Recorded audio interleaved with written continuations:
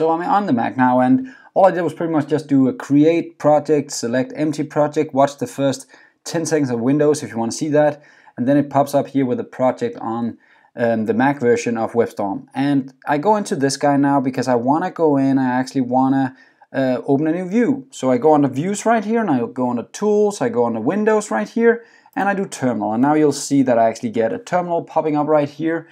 And um, the cool thing is that this terminal guy right here actually has the same functionality as your terminal on the Mac normally has. So we'll start to use just a few commands. That's just to get you guys started. Now the reason I'm using the terminal inside WebStorm instead of the pure terminal on your Mac is just because it's easier for me to share you guys with code and information using the same terminal. I don't have to switch all the time between the Mac and the Windows.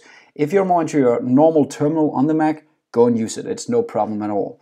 But I'm going to use this guy directly inside WebStorm by again going to the view, going to um, the tool windows and selecting the terminal here. There we go. So what commands are useful when you use a terminal? Well, the first one that I use a lot is ls, and that'll list all items that are available. Now this was kind of boring here. Let's do an ls.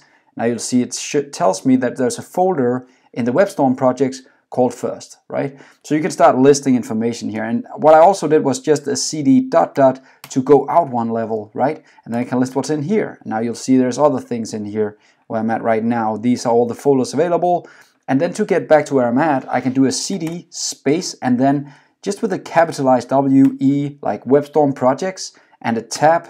And there we go. Now it auto completes everything for me using the tab.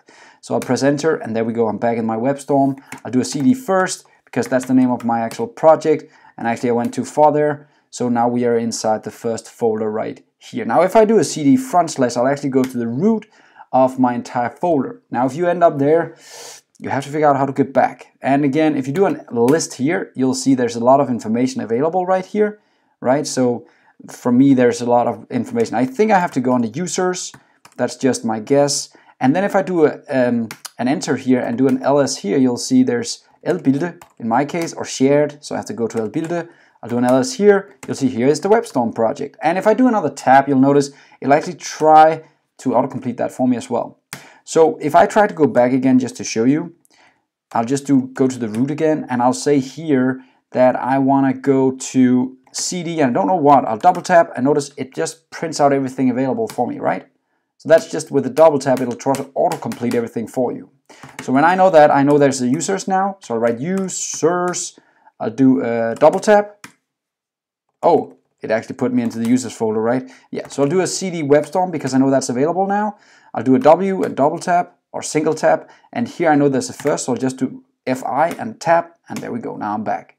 So those are very cool commands, very important to know. The CD dot dot, the CD front slash, the CD uh, name of your folder, let's say users again here,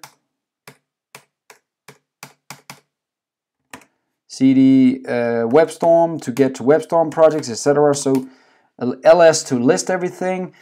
I think those are the most important ones. You can also make new directories with commands and stuff like that, but that's not what we're going to do. One more that I'm using a lot myself is uh, Command K to clear the console. That's up to you. But there you go. Now you have some basic commands on the Mac as well. Next lesson, let's start installing all the things we need to actually start working with Angular. Have fun.